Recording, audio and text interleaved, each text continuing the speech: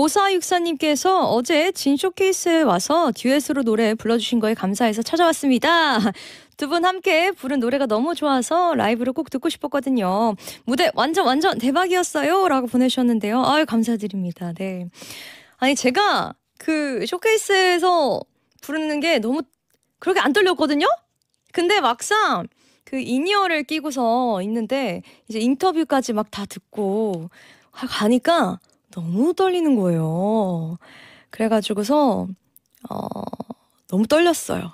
그리고 그렇게 많은 아미분들 앞에서 노래를 하려니까 떨렸지만 어, 너무 많은 응원과 또 사랑을 보내주셔서 너무 감사드립니다. 그리고 진 씨 이번 해피 앨범이 좋아요.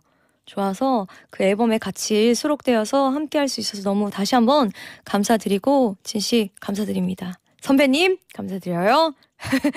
그리고 많은 응원과 사랑 부탁드리겠습니다. 그리고 화이팅! 네.